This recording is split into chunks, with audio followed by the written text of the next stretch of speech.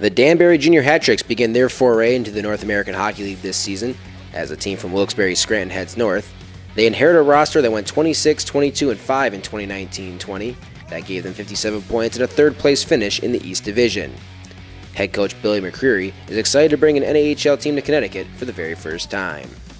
Yeah, we're thrilled. Um, you know, we're, we're really excited about the opportunity at hand here and not only to be a part of um, you know such a reputable league, but to be able to continue to grow the game in the state of Connecticut, uh, help grow the North American Hockey League. Uh, it's an honor to be a part of, and we're thrilled to be here. The Danbury Ice Arena looks to be a phenomenal place to play and watch junior hockey. Yeah, we're, we're pretty lucky here um, with our ownership, uh, owning the arena. Uh, there's always upgrades going on.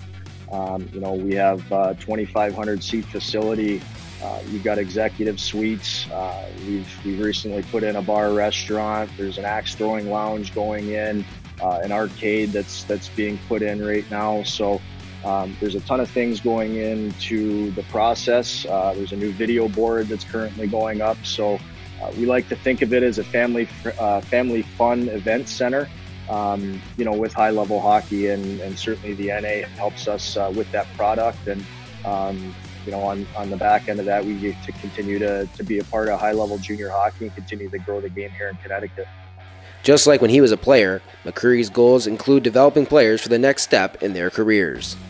Well, for us, it's priority number one. Um, you know, building a culture that, that allows leaders to come in and uh, work on and off the ice, not only in, in enhancing their skills on the ice, but enhancing their leadership skills off the ice. Um, you know, we want to be an advocate for our players, so we need to know that they're um, being professional in all senses of the word, on and off the ice, and you know, continuing to reach out throughout the course of the year and keep in constant contact with with um, you know relationships that that we've been building for many many years. So you know, we're really excited about the opportunity, uh, the culture that we're going to be building, and uh, certainly player development and player placement is is first on our on our priority list.